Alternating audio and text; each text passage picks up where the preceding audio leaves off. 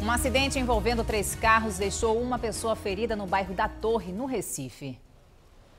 A batida foi por volta das 7 da manhã e deixou o trânsito complicado na área. Agentes da CTTU contaram que este carro de placa de Maceió seguia pela rua José Bonifácio, ultrapassou o sinal vermelho e atingiu este carro que passava pela rua Padre Anchieta.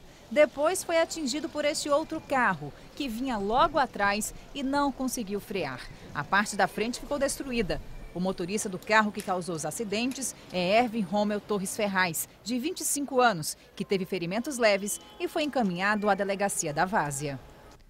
Os bombeiros informaram que um passageiro deste carro aí ficou ferido e foi levado para o Hospital da Restauração. O hospital não informou o estado de saúde dele.